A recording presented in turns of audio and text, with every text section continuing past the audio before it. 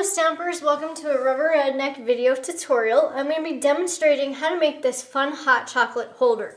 Here is the front view of the holder. This is what it looks like on the side, and then here is the back. You want to cut one piece of basic gray cardstock at 4 inches by 4 inches. Then place it onto your Simply Scored and score it at 1 inch and then at inch and a half.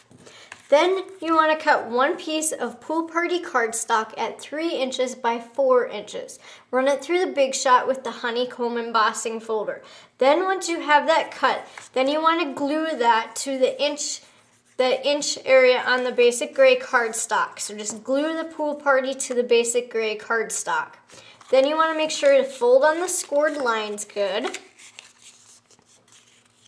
Then you want to cut one more piece of basic gray cardstock at two and a half inches by three inches. Run it through the Big Shot with the square lattice embossing folder. Once you have embossed that, then put some glue right onto the back.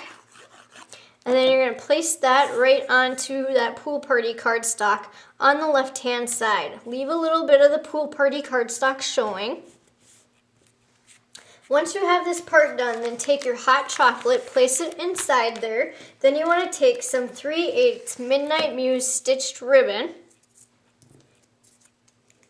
And you also want to take the decorative label punch and punch out a piece in the pool party cardstock. Just use part of your punch and then you're going to glue that to the center of the basic gray cardstock towards the right side.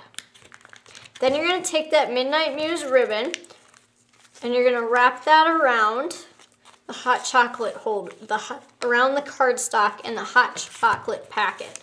Then all you wanna do is just tie like a double knot. And then once you have your double knot tied, just snip off the end of the ribbon. Then you just need to slide your ribbon to where you need it and fix your hot chocolate in there.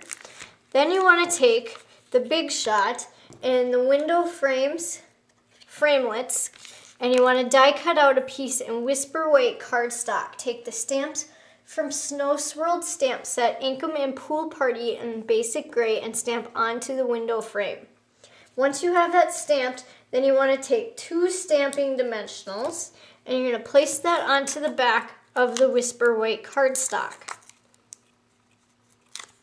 Once you have them on there, then you just want to attach that over the Midnight Muse ribbon. Just place that right in the center on the front of that hot chocolate holder. Then you want to take the stamp from Curly Cute and you would just use a piece of scratch white paper, but if you want, you can cut a piece at a half an inch by three and three quarters. Take that stamp from Cur Curly Cute, ink it in Midnight Muse, and stamp onto the Whisper White cardstock. Then notch out the one end on the saying here. Then you want to just put a st two stamping dimensionals onto the back of your little saying. Just put place one on each end. Then you're going to kind of curl it up and bend out the ends just a little on your banner. Then you want to place that down here across the bottom of that window frames, attaching it to the front of the hot chocolate holder. Once you have that done, then you want to take one of the large rhinestone jewels and you're going to place one right onto the end of that tag there. And then you want to take and place three more rhinestone, rhinestone jewels up here in the upper corner onto that window frame die cut in the Whisper White. Just place three of them on there. And then you've completed the hot chocolate holder. Thank you for watching.